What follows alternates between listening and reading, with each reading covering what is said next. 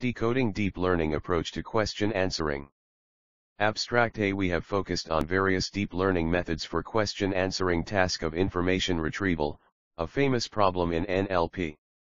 This paper is structured in such a way that we discuss all the concepts relating to various deep learning models i.e. RNN, BERT, and T5 with examples.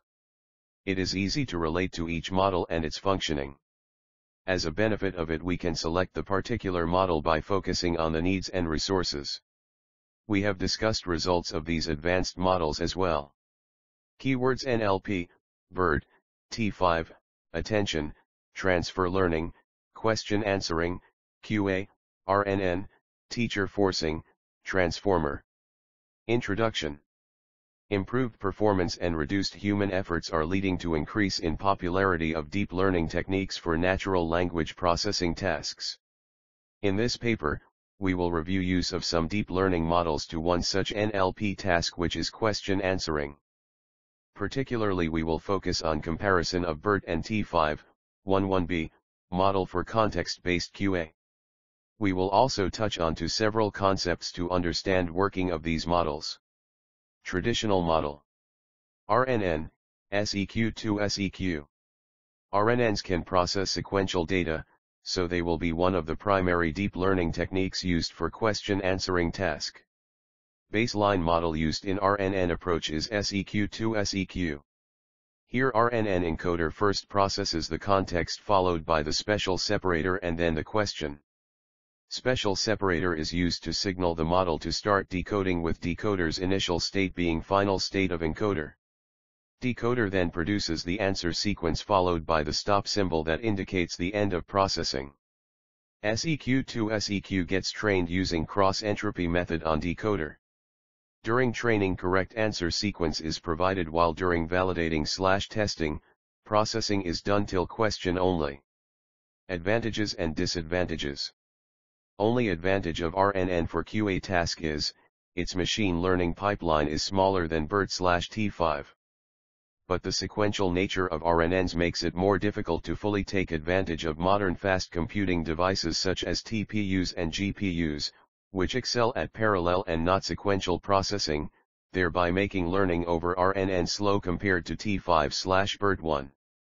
Long-term information has to sequentially travel through all cells before getting to the present processing cell. This means it can be easily corrupted by being multiplied many times by small numbers, less than 1, during backpropagation. This is the cause of vanishing gradients. LSTM and GRU offer partial solution to this problem. But in case of longer text sequences like in QA, even LSTM slash GRU are of little significance too. RNNs become very ineffective when the gap between the relevant information and the point where it is needed becomes very large. This is due to the fact that the information is passed at each step and the longer the chain is, more probable is the loss of information along the chain but this is exactly the case for question answering, as model has to process through all of the context and question to produce answer, therefore the chances of information loss are high in case of QA task 3. Related concepts. Before we talk more about BERT and T5 model, let us learn some underlying concepts used in them. We will explain these concepts abstractly and will provide references for enthusiastic readers. Attention. Attention models, or attention mechanisms, are input processing techniques for neural networks that allows the network to focus on specific aspects of a complex input, one at a time until the entire dataset is categorized. The goal is to break down complicated tasks into smaller areas of attention that are processed sequentially. Similar to how the human mind solves a new problem by dividing it into simpler tasks and solving them one by one. Attention models require continuous reinforcement or backpropagation training to be effective. In broad strokes, attention is expressed as a function that maps a query and a set of key-value pairs to an output. One in which the query, keys, values, and final output are all vectors. The output is then calculated as a weighted sum of the values, with the weight assigned to each value expressed by a compatibility function of the query with the corresponding key value. The most work so far with attention mechanisms has focused on neural machine translation, NMT. Traditional automated translation systems rely on massive libraries of data labeled with complex functions mapping each word's statistical properties. Using attention mechanisms in NMT is a much simpler approach. Here, the meaning of a sentence is mapped into a fixed length vector, which then generates a translation based on that vector as a whole. The goal isn't to translate the general, high-level overall sentiment. Besides drastically improving accuracy, this attention-driven learning approach is much easier to construct and faster to train. The context vector turned out to be a bottleneck for the SEQ2-SEQ type of model. It made it challenging for the models to deal with long sentences. Attention allows the model to focus on the relevant parts of the input sequence as needed. Encoder passes all the hidden states to the decoder. Ability to amplify the signal from the relevant part of the input sequence makes attention models produce better results than models without attention. Self-attention. A layer that helps the encoder look at other words in the input sentence as it encodes a specific word. Say the following sentence is an input sentence we want to translate. The animal didn't cross the street because it was too tired. What does it in this sentence refer to? Is it referring to the street or to the animal? It's a simple question to a human, but not as simple to an algorithm. When the model is processing the word it, self-attention allows it to associate it with animal. As the model processes each word, each position in the input sequence, self-attention allows it to look at other positions in the input sequence for clues that can help lead to a better encoding for this word. Multi-head attention. It is the layer used in many models for focusing on relevant parts of the input sentence. For e.g. In the above example of self-attention though the word it will associate with other words in the sentence, the effect of other words on its attention output will be suppressed by itself. By using parallel heads initialized differently, we get output of attention on it as a proper combination and there won't be any suppression effect. Here we use multiple blocks of self-attention. Layers of attention mechanism used in deep learning models. Encoder-decoder attention layer A queries are taken from decoder. Causal attention layer A self-attention without using future reference. Bidirectional self-attention A self-attention using all words from right and left side. Teacher forcing. Use of ground truth during training i.e. passing previous target word as next input to the decoder is known as teacher forcing. E.g. Suppose we want to translate how are the results to its German equivalent we sind die Ergebnis. Decoder produces this translation step by step i.e. OE word at a time. At each step previously predicted word is used as input to decoder to produce next word. Suppose following is predicted translation without teacher forcing we jet zio house. We can see, second predicted word jet is wrong. As we have used this word as input to the decoder in third step the next word zio is also wrong. Now we can understand the problem use of incorrect prediction as input for next step is detrimental because it may produce incorrect results. Teacher forcing helps in this situation. In teacher forcing technique, at each step, although we use predicted word for evaluation, calculating error, we use ground truth, in our example sind at third step, during training. Teacher forcing helps model to reach convergence faster during training. Without teacher forcing errors will accumulate producing sequence of wrong predictions. Limitation of this technique is exposure bias problem 4. As during inference, we don't have ground truth available, we won't be able to apply teacher forcing. There will be discrepancy between training and inference which may lead to poor model performance. Transfer learning. Transfer learning is a training technique in NLP, where model is trained on data-rich tasks, which is subsequently trained on downstream task to produce predictions on downstream task e.g., suppose we want to train a model for neural machine translation, NMT, so we use transfer learning and train our model first on combination of many different tasks like question answering, STSB, MNLI to learn model weights. Now there are two ways, approaches, to proceed. Feature-based A here, we use learned model weights to extract features, like word embeddings, which are used to train another model with NMT data. Fine-tuning in this approach, we use learned weights with same model and train it using NMT data. The tasks for which data set size is comparatively small gains most from transfer learning. Model learns many natural language features which cannot be learned using only downstream task. Transfer learning also reduces training time and improves prediction. Transfer learning is used during training in both BERT and T5. Transformer architecture. The transformer is a novel architecture that aims to solve sequence-to-sequence -sequence tasks while handling long-range dependencies with ease. The transformer was proposed in the paper Attention is All You Need 5. The transformer is the first transduction model relying entirely on self-attention to compute representations of its input and output without using sequence-aligned RNNs or convolution. Here, transduction means the conversion of input sequences into output sequences. The idea behind transformer is to handle the dependencies between input and output with attention and recurrence completely. In the architecture of transformer encoder and decoder are two important parts.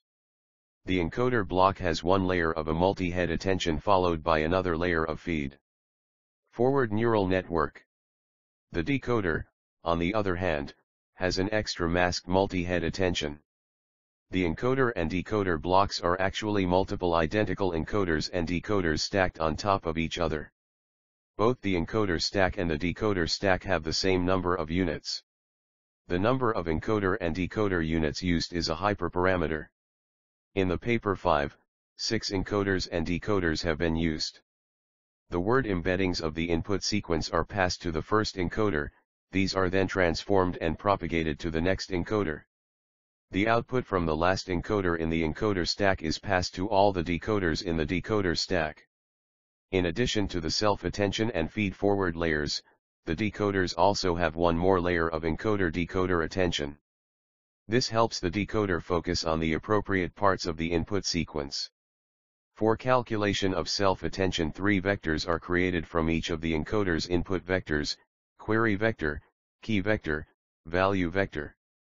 These vectors are trained and updated during the training process.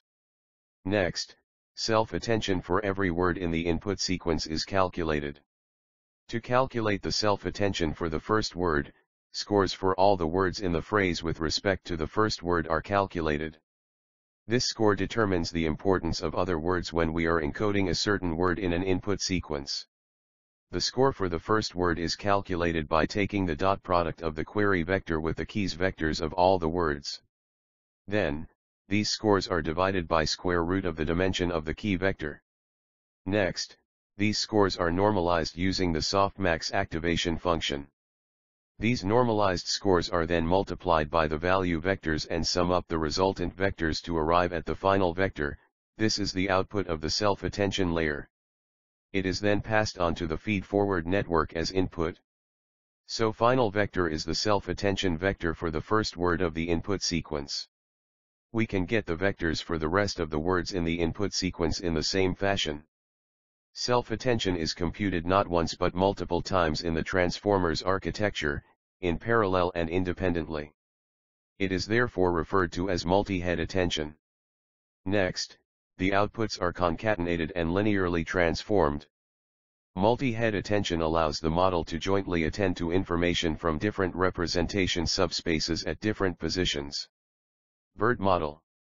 Architecture. Earlier only unidirectional approach was used where tokens were used to attend previous tokens for self-attention but for applying a fine-tuning approach, we need to incorporate context from both the directions. BERT uses a masked language model for this task. There are two main models. BERT base, L equals 12, H equals 768, A equals 12, total parameters equals 110M, and BERT large, L equals 24, H equals 1024, A equals 16, total. Parameters equals 340 M. L is for layers, H is for hidden units, A for self-attention heads. It can handle one sentence as well as multiple sentences as input. Sentences need not be in meaningful manner. The first token of every sequence is always a special classification token, CLS. Sentence can be separated by, sep, token. Pre-training, objective. Model is trained on unlabeled data over different pre-training tasks. Each downstream task is then fine-tuned with labeled data and initialized parameters taken from pre-training. It is pre-trained on two supervised tasks. We use bidirectional conditioning for pre-training where we mask 80% of the token with mask token, 10% of the token with random token, 10% of the token unchanged. Next sentence prediction is like a binary classification problem whether next sentence follows the input sentence or not. For e.g. A. Raju lives in Delhi. B. He is a data scientist. Here output can be yes B follows A NSP is beneficial for QA. Datasets used for pre-training are books corpus, 800 M words, and English Wikipedia, 2,500 M words. Fine-tuning.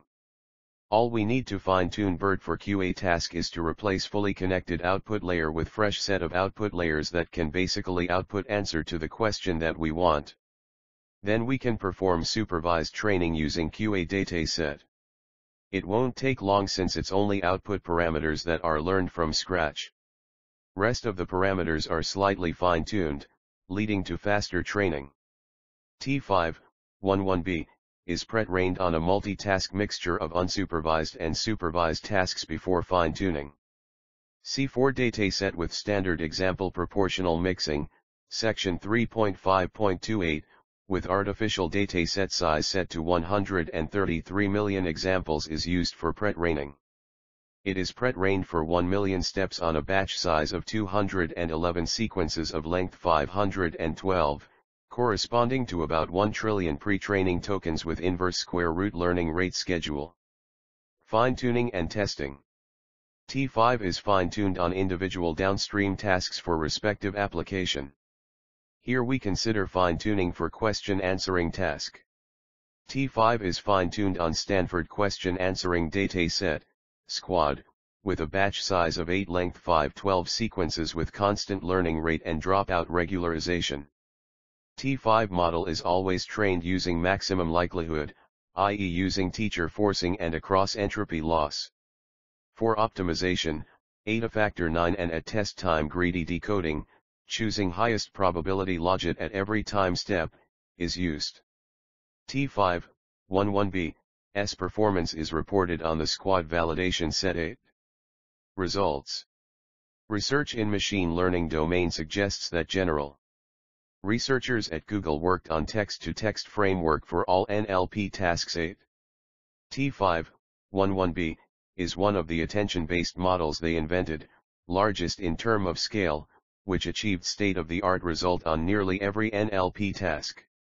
Following subsections will get you through T5, 11B, S architecture, pre-training, fine-tuning and results on QA task specifically.